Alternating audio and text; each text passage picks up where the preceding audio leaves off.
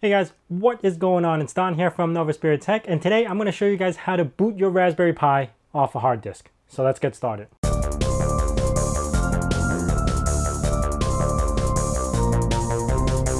So guys, as you may know, Raspberry Pis are development boards themselves. Why would you want to boot it off a hard drive?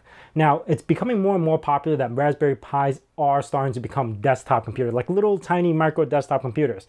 And you don't want to run a desktop environment off SD card because that will just literally burn through the SD cards like nothing.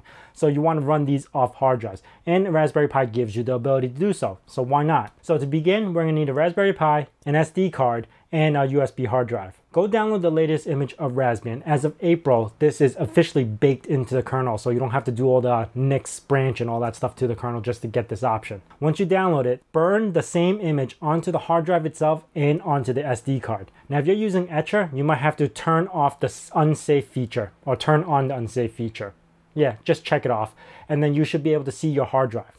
Once you burn the two images, don't disconnect them yet. You want to still be able to modify the config.txt files. We're going to add a little tiny line on the bottom of each one, on the hard drive and on the SD card. Once you're done with that, stick it back into the Raspberry Pi and boot it from the SD card. This will actually set the parameter to allow the Raspberry Pi to boot from hard drive. Once you boot it for the first time, it's going to do its little thing. You don't have to really worry about it, but once you're done, reboot it. So for what I did just to speed up the process, I dropped right into terminal and just hit, hit sudo reboot. Once I rebooted, I gave it like a couple of seconds so I could see the four little icons and then I just unplugged it. Then I took out the SD card, left the hard drive plugged in, powered it back on, and voila, everything is booting from the hard drive itself. So that's basically it. So enjoy your Raspberry Pi with the added benefit of the hard drive. And now you could actually create a swap file and stuff like that. So you can run bigger programs.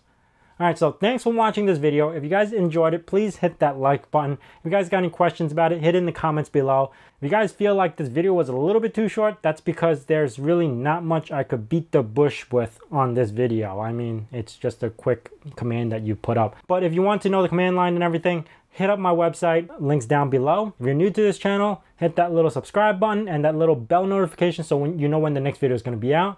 And as I say in my nerd cave, hack till it hurts.